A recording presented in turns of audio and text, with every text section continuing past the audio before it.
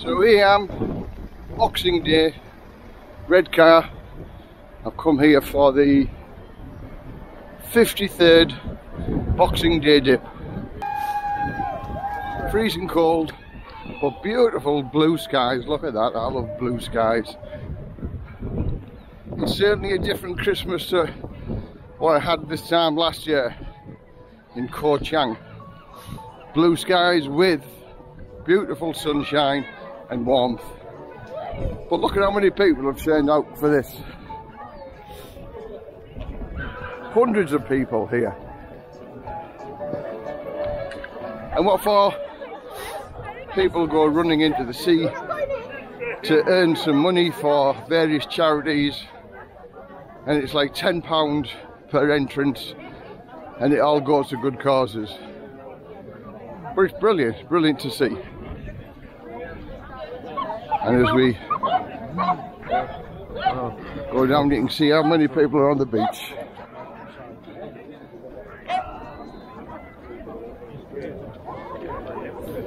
And this is where they're all going to come running down, coming into the beach, into the sea.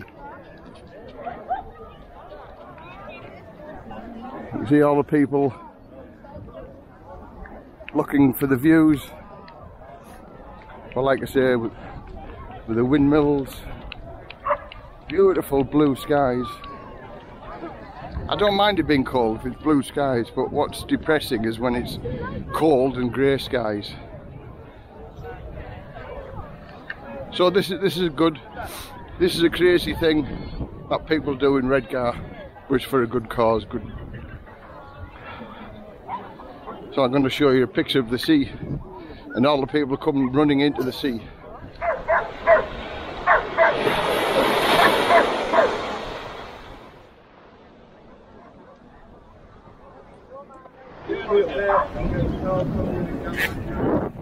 As you can see there's the RNLI boat in the background.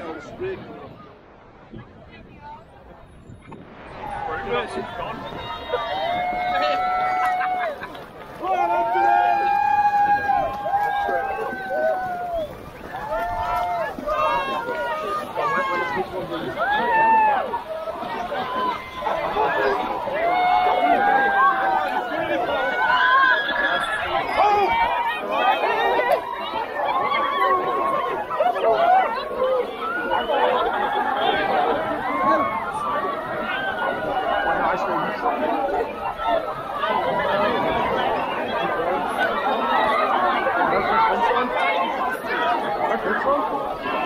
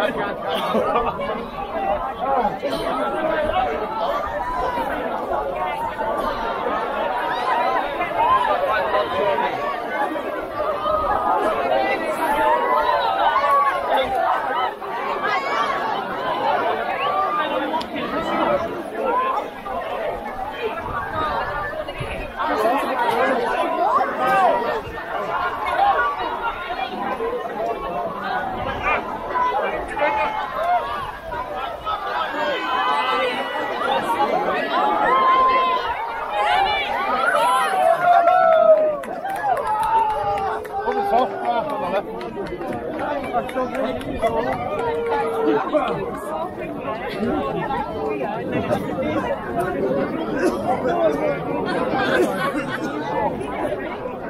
that was the Boxing Day dip.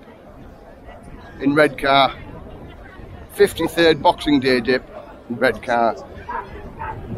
Got a beautiful day for it, sunny anyway, but you can see how cold everybody was when they're coming out of the sea.